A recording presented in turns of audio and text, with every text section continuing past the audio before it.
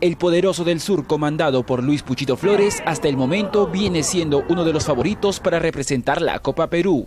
Con jugadores de excelente nivel y el comando técnico de experiencia, el modo de juego se viene poniendo a punto en el binacional. Es una mejora continua el fútbol, hay que trabajar la parte física, la parte técnica, la parte táctica, la parte psicológica y dentro de ello transmitir esta idea de juego. Es un plantel nuevo donde hay chicos que vienen de otras instituciones.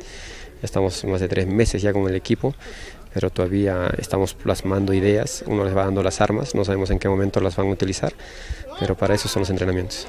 Los celestes vienen de dos victorias seguidas en la presente fase de la etapa provincial. Una victoria de local en su tercer partido de grupo ante los signos y clasificarán como primeros de la Serie I. Partido de definición en nuestra serie, en nuestra llave. Eh, jugamos contra signos de Yura, que está haciendo los méritos para lograr la clasificación tenemos la ventaja de que jugamos en condición de local y esperemos pues este sábado presentar un buen juego y obtener un buen resultado. Las ambiciones por parte de la dirigencia y la preparación seria del equipo son clara muestra del proceso que se está poniendo en práctica en el proyecto llamado Escuela Municipal Binacional.